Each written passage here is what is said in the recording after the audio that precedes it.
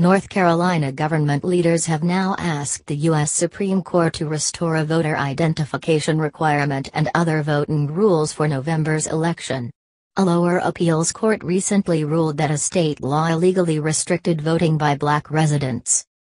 Governor Pat McCrory's office said the state's lawyers filed their request Monday to delay last month's ruling.